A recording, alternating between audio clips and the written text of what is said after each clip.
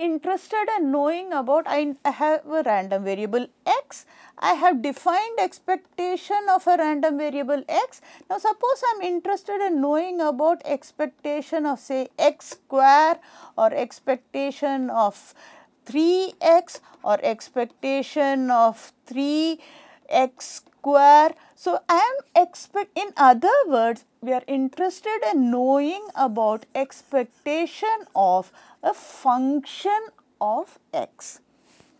So, if I have x which is a random variable which again takes for now I am assuming it takes finite number of values then g of x is going to take g of x1, g of x2 with values g of xn. The probabilities would remain the same. So, I have probability x equal to xi is probability x equal to x1, probability x equal to x2 up to probability x equal to xn. I know expectation of x is going to be x1 probability x equal to x1 plus x2 probability x equal to x2 plus xn probability x equal to xn. I can define expectation of g of x to be g of x1 into probability of x equal to x1 plus g of x2 because it takes value g of x1 with probability x equal to x1. It takes the value g of x2 with probability x equal to x2. It takes the value g of xn with probability x equal to xn and that is what is summarized here as expect value of g of x is summation over all values of x g of xi into probability x equal to xi. As a natural corollary for it, if g of x, so suppose I have now g of x is a constant times x. Suppose g of x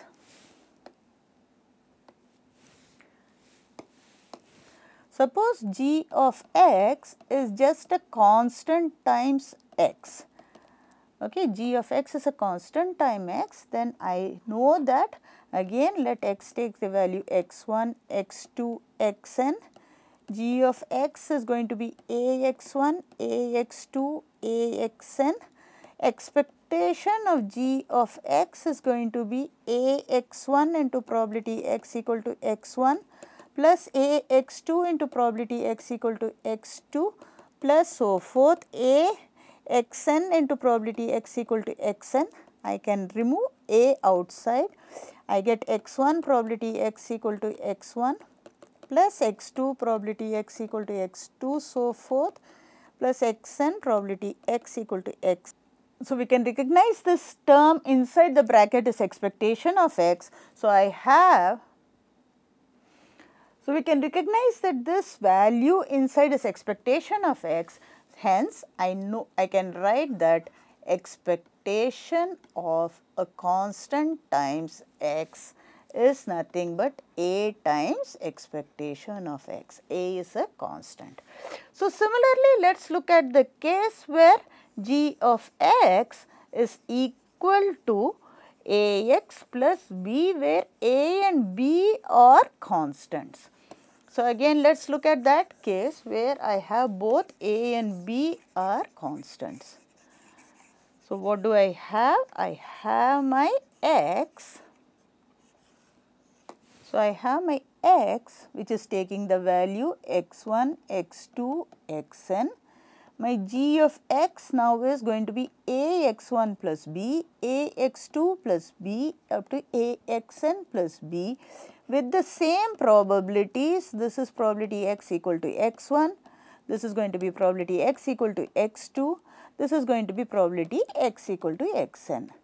So, my expected g of x is going to be a x1 plus b into your probability x equal to x1 plus a x2 plus b into your probability x equal to x2 plus a x n plus b into probability x equal to x n.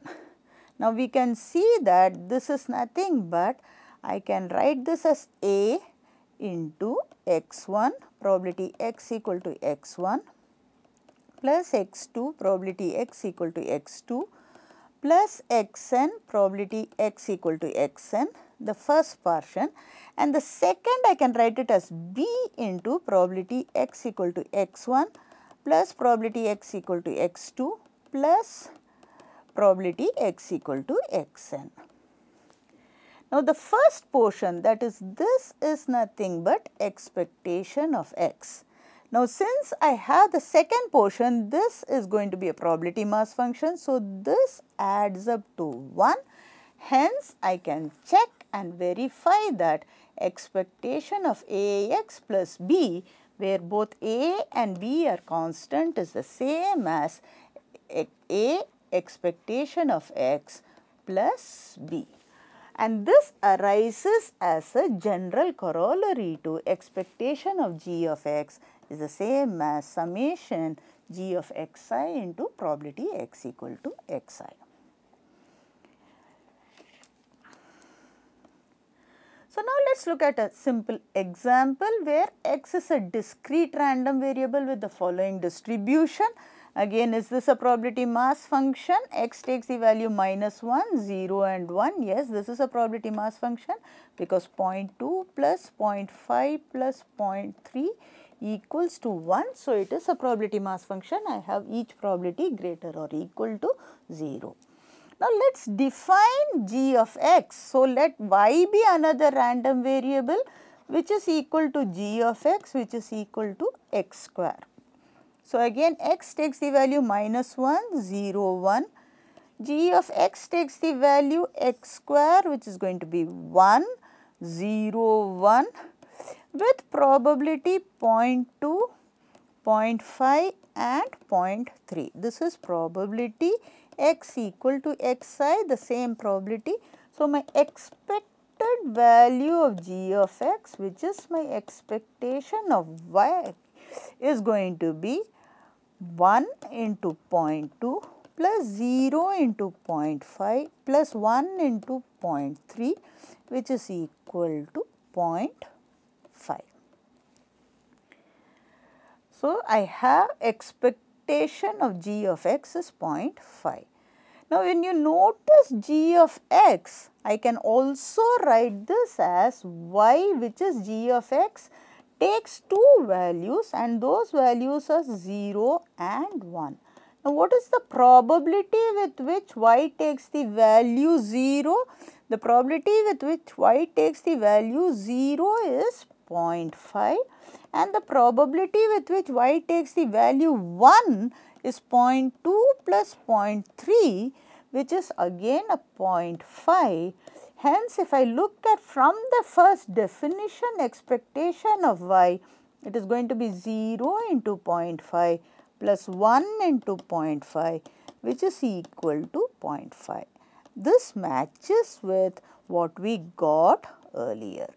Hence, given a random variable, I can find out what is the expectation of the function of a random variable. A very common mistake people do is to think expectation of x square is the same as expectation of x whole square. What we have seen just now is expectation of x square was 0.5. What is expectation of x? Expectation of x is minus 0.2 plus 0.3 which is a 0.1. So, the x square of the expectation is 0.01. So, expectation of x square is not equal to expectation of x whole square and this you should be very careful about understanding this that expectation of square of a random variable is not the same as square of expectation. So, expectation of square is not same as square of expectation. The next example where we go for an application of what we have learned is the following application. So, Sanjay and Anita work for the same company. Anita's Diwali bonus is a random variable whose expected value is 15,000. So, let x be the random variable which represents Anita's bonus. What is given to me is expectation of x is 15,000 rupees. So, that is what is given to us. Now, the next thing that is given to us is Sanjay's bonus is equal to 90 percent of Anita's bonus. So, let y be Sanjay's bonus, x is Anita's bonus, y is Sanjay's bonus. What is given to us y is 0.9 times x I know what is expected x. This is given to be 15,000 rupees. So, the question is what is expected value of Sanjay's bonus that is expectation of y. From our earlier result I know that if y is 0.9x then expected value of y is 0.9 times expected value of x which is 0.9 times 15 13,000 rupees which is 13,500 rupees. So, I can see that Sanjay's bonus expected value of Sanjay's bonus is 13,500. Suppose Sanjay's bonus is said to be equal to 1000 rupees more than that of Anita's bonus then find the expected bonus. So, in this case I have y is x plus 1000. So, expectation of y is going to be expected value of x plus 1000. I already know expected x is 15,000. I add 1000 hence the expected value of Sanjay's bonus is going to be 16 thousand rupees. So, you can see how we have just applied the expectation property of expected value of Ax plus B equal to A into expectation of x plus B. In this case, my A was 0.9 and B was 0. In this case, A was 0 and B was 1000. So, just you need to identify what are your constants to apply this property. Now, let us look at what can I tell about expectation of a sum of random variables. If I am given two random variables with and I know their relative or respective expectations, then expectation of x plus y that is expectation of sum is sum of expectations.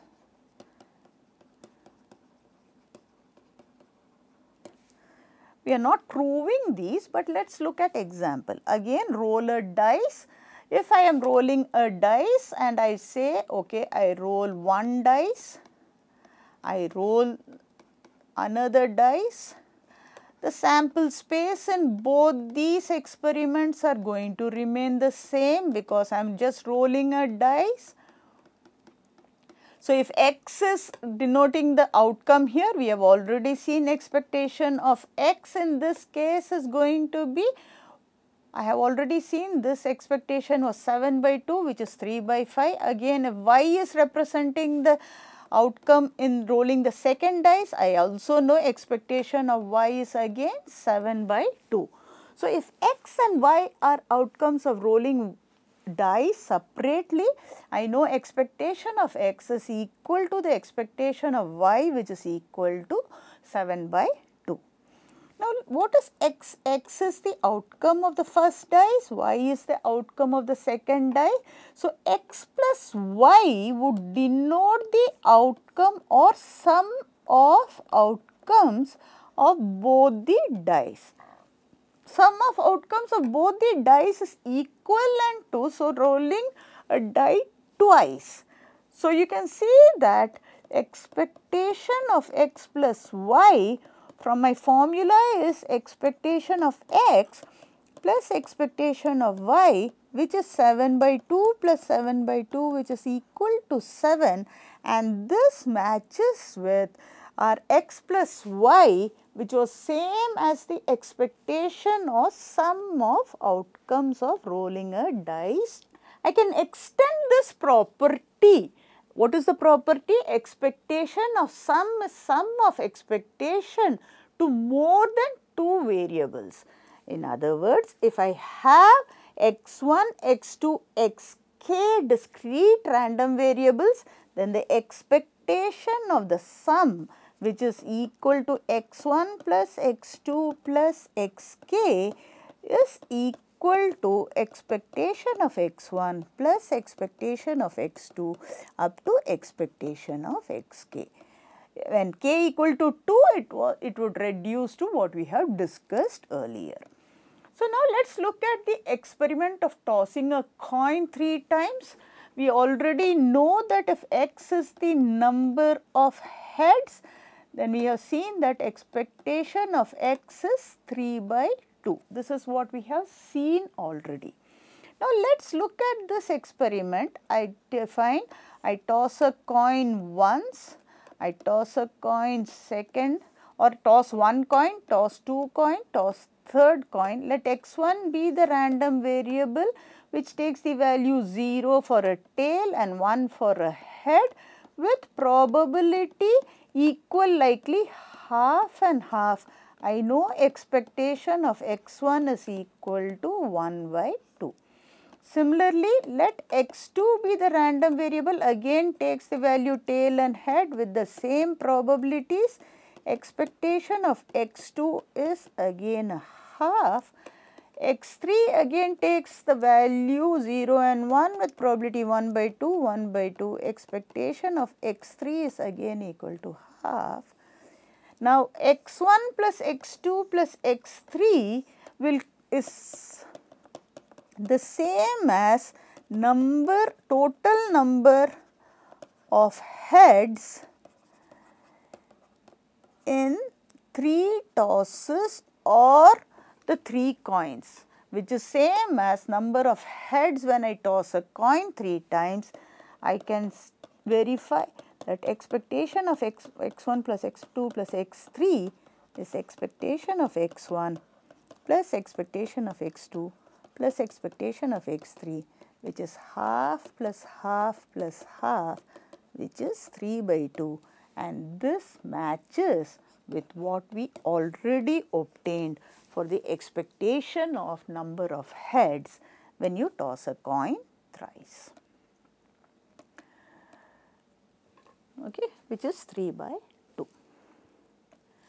So, in summary what we have introduced so far and what you should be knowing now is the notion of the expected value as a long run average. A word of caution is do not interpret it to be that that is the value the random variable will take. For example, we saw that x cannot take a value 3.5 when you roll a dice once, but rather it is the average of the outcomes.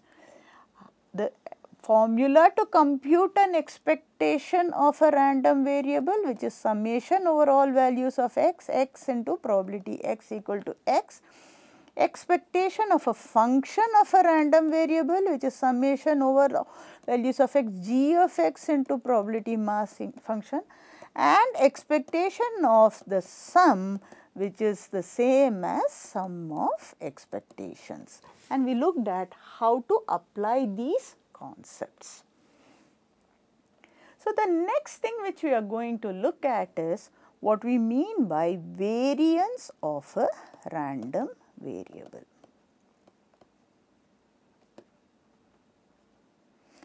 We are going to focus on the variance of a discrete random variable.